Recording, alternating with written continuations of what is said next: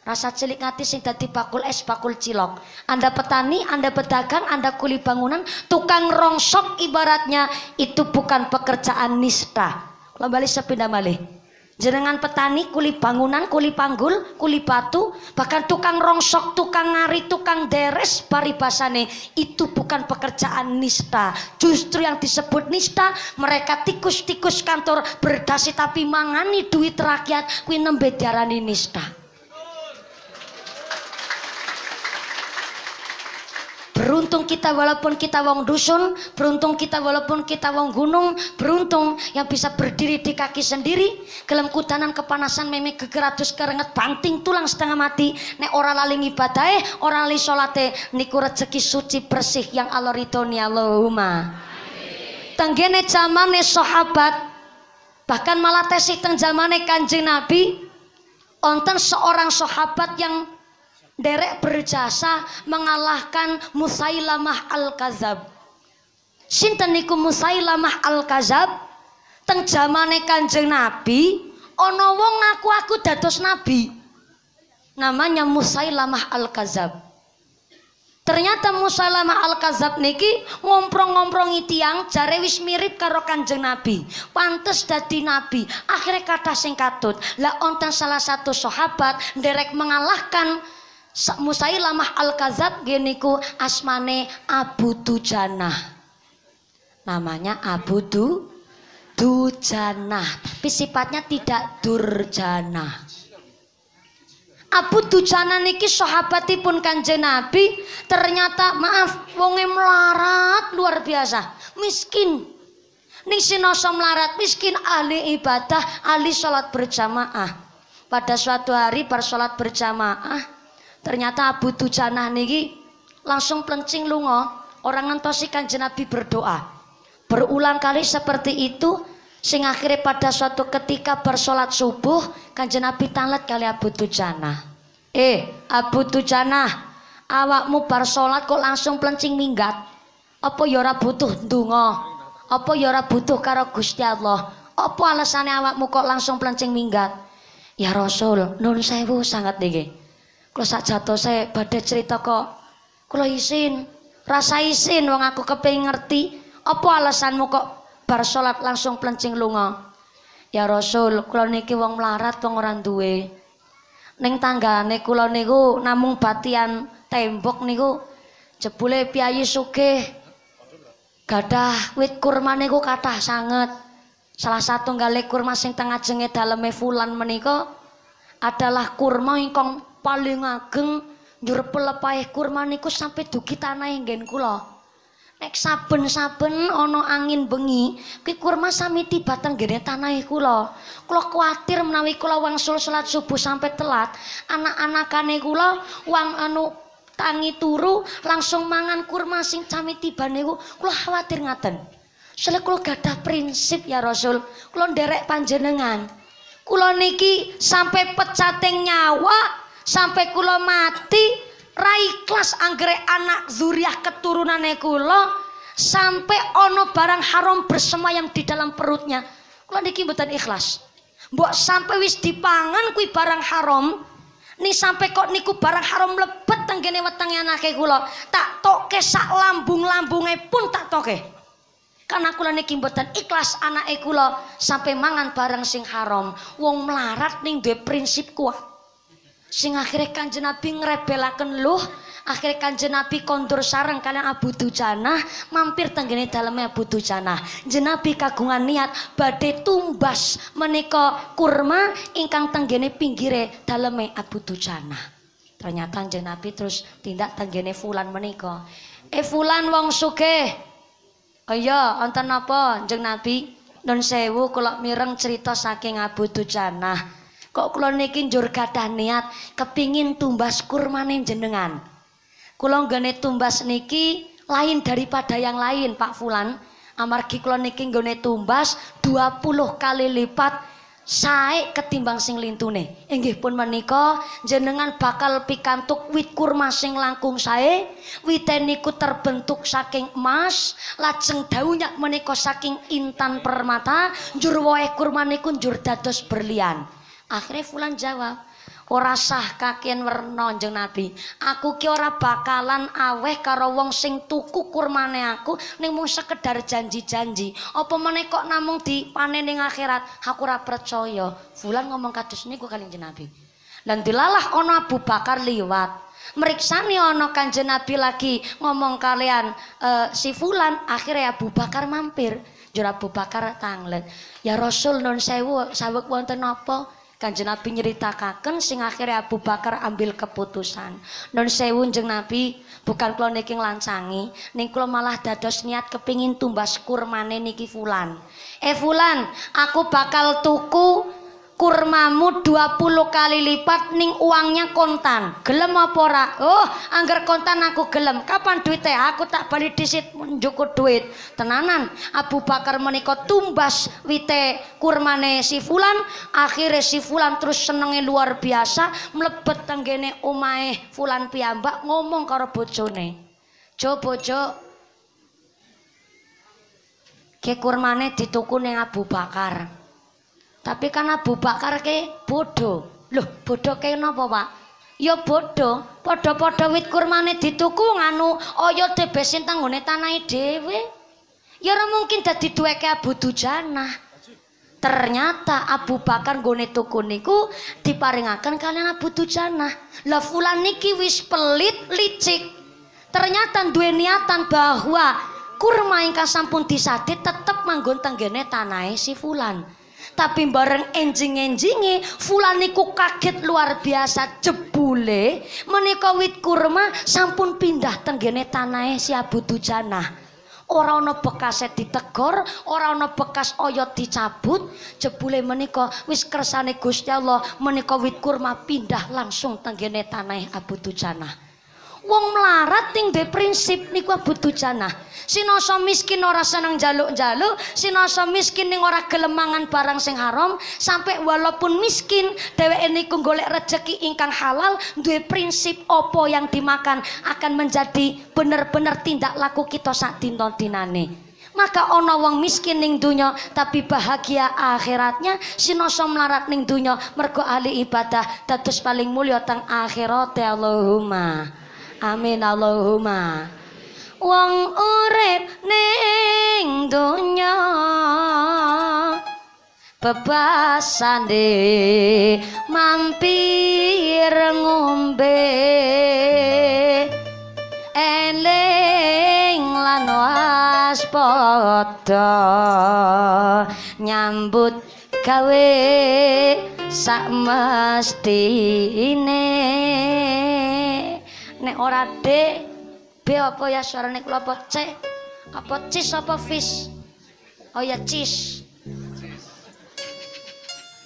Soalnya kula niku suarane lanang ora wadon ora. Nggih talan kali mbak vokalis. Wong wedok tapi suarane ora kuat dhuwur. Arep niru suara lanang tapi ora rendah. Dadi suarane lanang ora wadon ora aku kemutan ben pas lagi belajar ceramah pertama niku kula diwarai teng pae kula lagu dandang gula. Dandang gula napa dadang gula? Dandang gula. Nek cara cilacap ora ana gula ontene gula. Dados nek cara cilacap kentang cara mriki kentong. Cilacap ya ora ana sing mangan sego Oke, mangane sega. Tang cilacap e, landa teng mriki londo teng cilacap kentang teng mriki kentong teng cilacap kontal teng mriki eh, eh, eh saja aja amper kebablasan. Sokeh tanpa bondo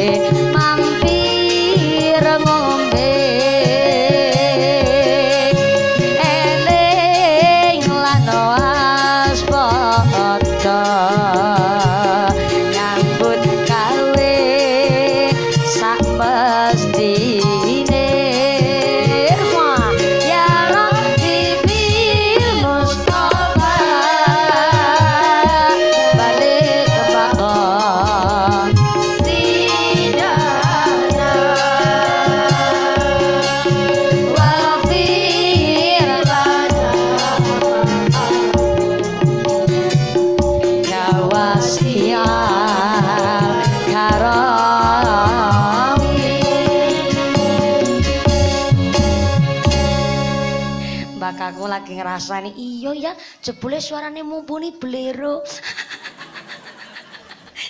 Pak E kula wingi mriksani iseng mriksani kula teng YouTube bareng pas wekdal niku lagi nembang Asmarandono pas lagi nembang Asmarandono bapak kula matur wis prawan kok ora iso ngatur swara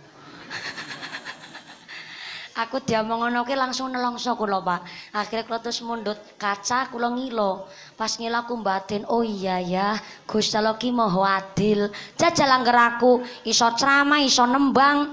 Sumpamane suarane aku apik, iso ngaji, ayu maning. Umpama Wong aku kan miki ngomong jajal. Berarti lagi mengumpamakan jajal langgeraku. Suarane apik, iso nembang, iso ngaji, iso ceramah. Hayu meneh lah lenje kaya ngapa?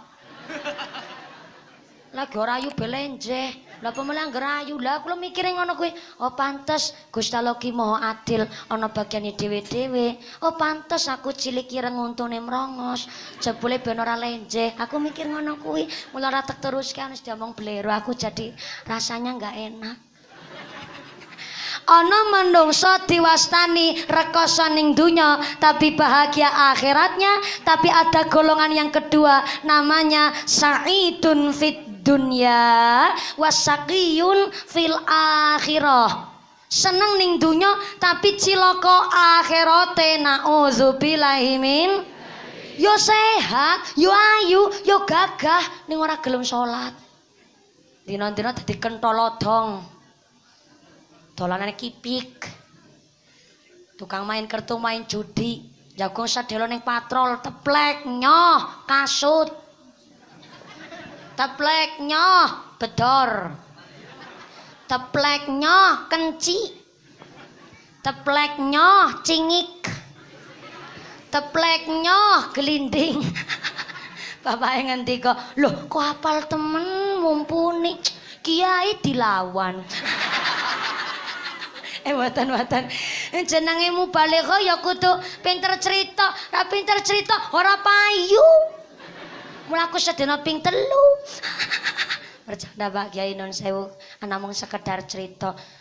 Wis diparingi urip diparingi sehat ora gelem salat diparingi urip ora gelem ngibadah. Namanya sombong. Apa Bu?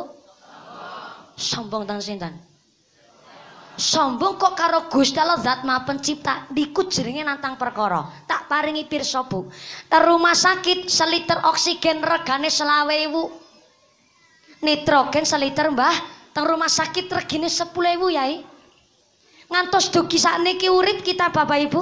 Mergo niki irung nyedot oksigen karo nitrogen. Nek boten nonton oksigen boten nonton nitrogen yo mati berjamaah niki irung nyedote oksigen karo nitrogen. Sadina kita kudu nyedot 2880 liter oksigen lan kudu nyedot 11370 liter nitrogen per dina per manungsa yuh dihitung barang-barang sedina kudu bayar pira orang mau ngakeh tak hitung kewa rong ewu wolong atus wolong puluh liter oksigen ping selawewu ditambah selas ewu telung atus pitung puluh liter nitrogen per menungso lajeng ping 10.000 ya Allah sedina kita bayar 185 yuta per dina per menungso. 185 yuta ping 30 dina sak wulan kita kudu bayar 5,5 miliar per bulan per menungso. Nggih ambekane tok. Jajal nek Gusti Allah dagang arep bayar sepiro arep bayar karo apa? Niku nembe ambekane tok urung nggo bayar pangrungone urung nggo bayar paningalane durung nggo bayar maaf entute ora bisa ngentut telung dina gawa rumah sakit. Lho kok menungso ora gelem salat, ora gelem ngibadah, wong Gusti Allah tanglet fabi ai ala irab bikuma tukadziban nikmat sing pundi malih sing badhe didustakan wong kita niki lakot khalaqnal insana fi ahsani taqwim. Bentuk paling sempurna ketimbang makhluk liyane. Kok ora gelem ibadah kok ora gelem salat namanya enggak tahu dir. Enggak punya mal. Randuwe is rai ged rai tem tempe tembok tempe bisa-bisa nih. Kebablasan rai tempe. Jodohnya nggak punya malu kan nggak tahu diri. Jodohnya nggak rai rai tembok ya rai gede. Kok rai tempe? Ini ngarep dewe banter. Salah. Namanya nggak tahu diri niki ono masjid ya Allah. Seneng anggar warung masjid ijo-ijo. Adem banget. Tapi kalau mira makian niki saking bu muslimat. Mereka masjid Nurul Ilham. Alhamdulillah setiap sholat lima waktu jamaah ini ku kata sangat. Napa malah anggar subuh uh jamaah ngasih tekan jopo mriki. Ini jopo tok ora gelem lebu.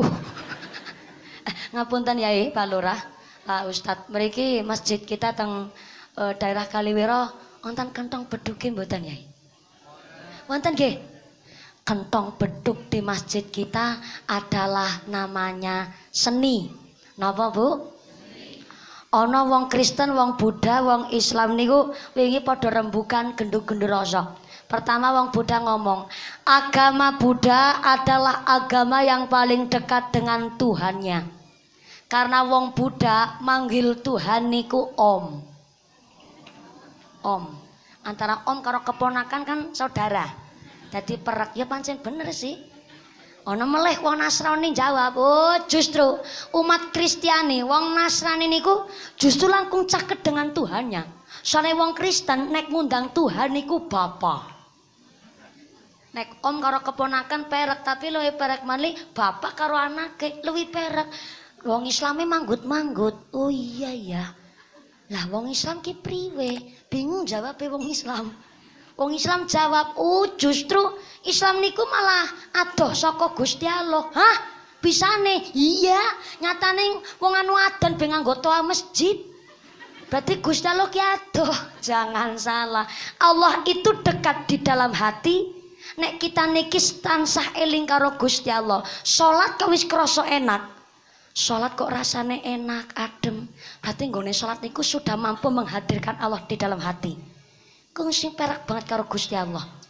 Loh, sholat tahajud, sholat hajat, sholat witir. Teng sepertulune dalu, liane turun jenengan qiyamul lail. Allah niku turun ke langit dunia di sepertiganya malam. Sinten sing menangi Allah turun ke langit dunia, ngene ku sing padha gelem qiyamul lail ngibadah ana ing tengah wengi sampai jenengan sholat lima waktu tumak ninah kanti khusyuk masya Allah. Rasane adem teng sakjroning ati berarti nggone salat sudah mampu menghadirkan Allah di dalam hati. Wong anggris bener salate bener sujude pasti saya akhlake. Niku pun hak paten. Wong anggris bener salate, bener sujude, pasti saya ngendikane. Niku wis barang mesti. Mula niku didandani dhisit salate, sing durung salat ayu, masjide diisi kangge salat berjamaah. Monggo masjide kangge ngaji, putra-putri kita diajak teng masjid. Kadang ana wong tua mboten kersa mbeta putrane teng masjid, alesane jare mbok anake ganggu kekhusyukan orang salat. Ngapunten Bapak Ibu, namanya masjid kok sampai sepi bocah. Pun mboten nonton lari podo pelayon. Wah, niku ciri-ciri datangnya hari kiamat masjid musola kau iso cah cilik waduh aku rung bojo mulai harap kiamat Yo namanya bocah wis dadi umume lan maklume. Teng masjid iku padha playon, padha rame, ganggu tiang sepuh sami salat. Yo jenenge bocah yo ngaten niku. Maka sing pengertian adalah orang tua. Ketika anak sing tesi pipis ngompol, maaf nun sewu, ya wong tuane sing pengertian, bapake lagi salat, lagi sholat jamaah ibune kanthi jaga putrane. Bapak ewi sholat umpamane badhe gentenan karo ibune nggih monggo. Utawi jenenge Islam niku bukan agama untuk mempersulit. Wong lagi sholat ku anake nangis gedros ulih sholat karo gendong putrane. Sing penting tetep pikiran kita ibadah karo Gusti Allah. Saking luar biasa Islam niki rahmatan lil alamin. Maka ibadah niku adalah proses untuk mendekatkan diri mempermudah menggapai ridhone Gusti Allah bukan untuk mempersulit. Kentong beduk di masjid kita namanya seni. Angger sing ngomong bid'ah yo ngapunten. Zaman jenabi nggih mboten nonton kentong karo beduk. Wong kentong beduk ciptane wali songo. Wali songo nyiptakan kentong beduk mergomian kan durung wonten listrik. Belum ada wireless belum ada toa belum ada mic apalagi mic station